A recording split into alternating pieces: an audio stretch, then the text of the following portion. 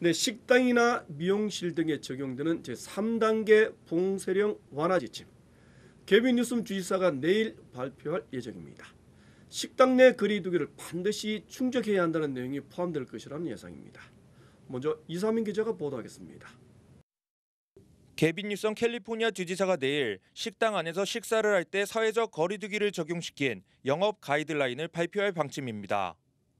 특히 많은 인구와 3만 2천여 명이 넘는 코로나 확진자가 발생한 LA 카운티. LA 카운티와 시는 식당 내에서 식사를 하는 손님을 대상으로 보다 엄격한 사회적 거리두기 지침을 발표할 것으로 알려졌습니다.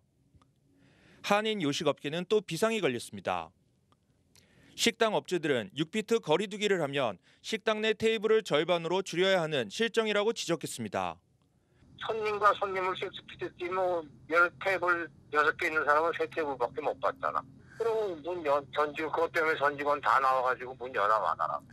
더구나 같은 테이블에 앉은 손님들까지 사회적 거리두기를 적용한다면 식당 내 영업을 당분간 포기하는 것이 손실을 줄일 수 있는 방법이라고 업주들은 주장했습니다.